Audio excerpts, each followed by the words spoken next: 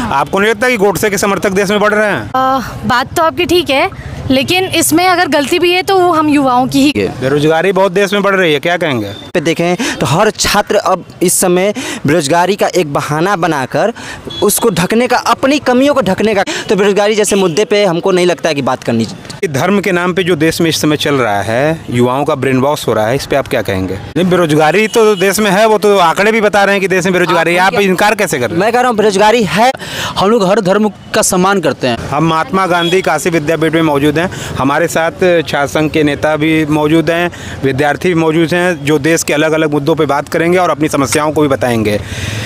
ये बताइए कि धर्म के धर्म के नाम पे जो देश में इस समय चल रहा है युवाओं का ब्रेन वॉश हो रहा है इस पे आप क्या कहेंगे?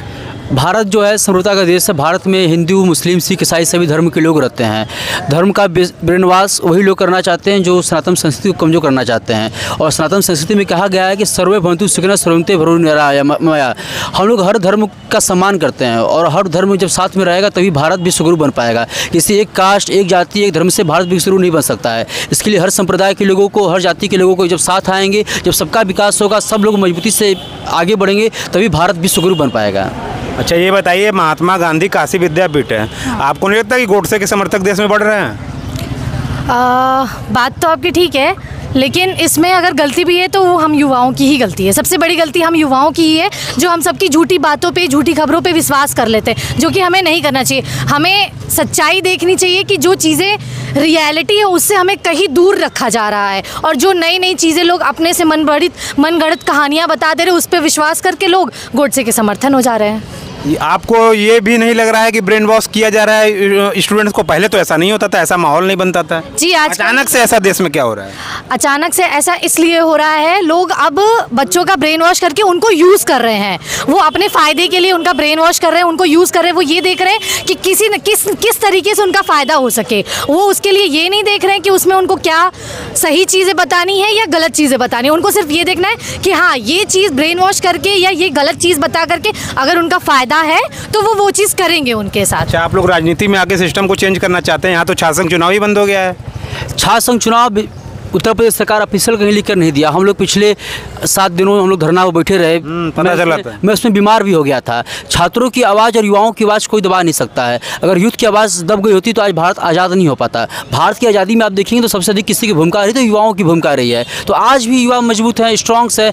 लिंग दो के नियम से छात्र कमज़ोर हुआ है लेकिन युवाओं की यूथ की आवाज़ दबने नहीं पाएगी। और जब भी यूथ की आवाज़ छात्रों की आवाज़ दबेगी तब मैं अस्वस्थ तिवारी युवाओं की आवाज़ बनकर सामने आऊँगा। मैं बीमार रहूँगा जब तक अंतिम सांस रहेगी, हम लोग लड़ते रहेंगे। यहाँ से चंद्रशेखर आयाज जी ने पढ़ा है। उनकी बगिया हम कमज़ोर युवाओं की आवाज़ को नहीं होने देंगे। बेरोजगारी बहुत देश में बढ़ रही है, क्या कहेंगे? बेरोजगारी कहने वाली बात है, बेरोजगारी देश में बढ़ रही है। अगर देखा जाए तो भारत में सबसे ज़्यादा इस समय जो स्टार्टअप के क्षेत्र में हम आगे बढ़ रहे हैं, कौशल विकास के क्षेत्र में हम आगे बढ़ रहे हैं स्किल की डेवलपमेंट के नाम पे हम आगे बढ़ रहे हैं, यहाँ पे देखें तो हर छात्र अब इस समय बेरोजगारी का एक बहाना बनाकर उसको ढकने का, अपनी कमियों को ढकने का काम कर रहा है। जो भी छात्र बेरोजगारी का अगर बहाना बना रहा है, बेरोजगारी है, ऐसी बात नहीं बेरोजगारी नहीं है। उसके पीछे भी कारण है, जनसंख्या का कारण है और अभाव है। लेकिन अभी ये ज़माना है, इक्कीसवीं सदी है, नया ज़माना इस समय कौशल विकास पर ध्यान देना है स्टार्टअप पर ध्यान देना। है सबसे ज़्यादा स्टार्टअप खोलने वाली कंपनी हो गई। अभी नया जो बजट आया है, उस बजट में लोन पे हम लोग को छात्रों को कितना छूट मिल रहा है, स्टार्टअप के लिए कितना छूट मिल रहा है। तो बेरोजगारी जैसे मुद्दे पर हमको नहीं लगता है कि बात करनी यहाँ पे ज़रूरी है। नहीं बेरोजगारी तो देश में है वो तो आंकड़े भी बता रहे हैं कि देश में बेरोजगारी है। आप इनकार कैसे कर रहे हैं? मैं कह रहा हूँ बेरोजगारी है। मैं ये नहीं कह रहा हूँ बेरोजगारी नहीं है लेकिन हम नए ज़माने के नए युवा हैं। हमको पता है कि बेरोजगारी को कैसे कम करना है कैसे हमको स्टार्टअप पर ध्यान देना है कैसे हमको अपने कौशल विकास की क्षमता को बढ़ाना है और देश को समर्थ और वो बनाना है। छात्र संघ अध्यक्ष बन के क्या करेंगे? पहला काम क्या करेंगे? विश्वविद्यालय में प्लेसमेंट्स नहीं लग पाते हैं। प्लेसमेंट जो होता है जैसे कि एम का हुआ एम का तीन से नौ लाख हैं। जब तक छात्रों के पास रोज़गार नहीं रहेगा तो छात्र मज़बूत नहीं हो पाएँगे। मेरा पहला कदम रहेगा विश्वविद्यालय में प्लेसमेंट के लिए जितनी भी टॉप लेवल की ऑल इंडिया की कंपनियाँ हैं वो विश्वविद्यालय में आएँ और छात्रों को विश्वविद्यालय में आकर रोज़गार दें। विश्वविद्यालय के छात्र इतने मज़बूत हैं स्ट्रॉन्ग्स हैं कि वो रोज़गार पा सकते हैं। छात्रों को कहीं जाना ना हो। विश्वविद्यालय में जब कंपनियाँ आएँगी तो उनको रोज़गार मिलेगा। मेरा फ़र्स्ट पहला कदम यही रहेगा। अच्छा ये बताओ कि पहले तो विद्यापीठ में काफ़ी हलचलें होती थी अब कुछ शांति शांति सा माहौल लग रहा है। पूरा शांति के मार्ग पर विद्यापीठ चल पड़ा है क्या?